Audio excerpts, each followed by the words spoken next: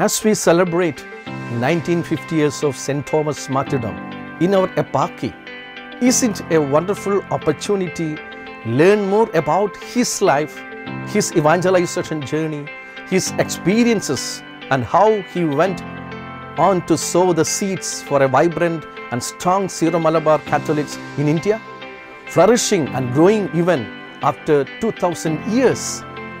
Let's dive deep into this and understand where our roots are, what St. Thomas did and how he touched our motherland India and our forefathers.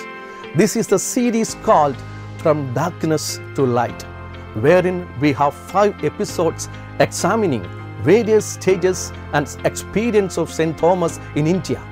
Come, join with us in this exploration.